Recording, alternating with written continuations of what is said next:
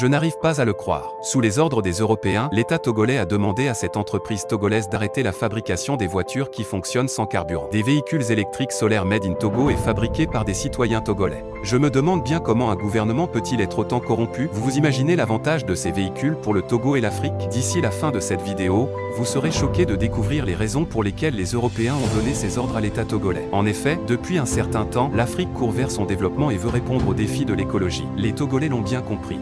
Le Monde de l'énergie, située dans la banlieue de Lomé, a donc lancé la fabrication de voitures électriques à l'énergie solaire. L'avantage de ces véhicules est qu'ils ne consomment pas de carburant. Ces véhicules utilisent de l'énergie solaire pour leur alimentation, c'est-à-dire tant que le soleil existe, voitures peuvent rouler. Ils sont équipés de moteurs qui émettent zéro CO2 et roulent sans bruit, contrairement aux moteurs standards, d'où le nom de voiture écologique.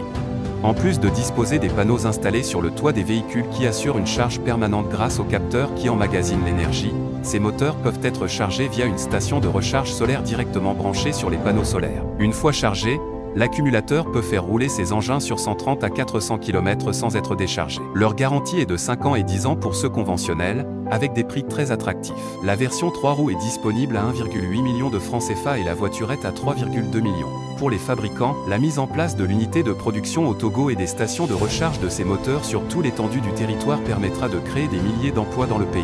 Alors qu'on pensait que le Togo venait d'être libéré des achats de véhicules importés depuis l'Europe, l'État togolais demande à cette entreprise de fermer ses portes. Dites-moi en commentaire, selon vous, quelles sont les raisons qui ont poussé l'État togolais à fermer cette entreprise? La meilleure réponse sera taguée dans la prochaine vidéo.